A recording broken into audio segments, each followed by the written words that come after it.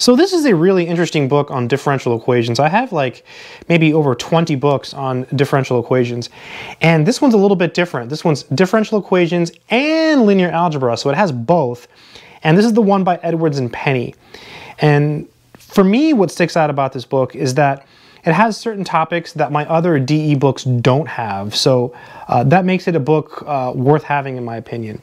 Now, if you're using this for a course, that's pretty cool, like awesome. I mean, there's a lot of really cool stuff in this book that you don't see in other uh, DE books. So if you get to use this for an actual class, um, that's really, really good because, I mean, you, will probably get the book. And should you get the book? Yes, I think so. Um, this is a fantastic book. It's the one by Edwards and Penney.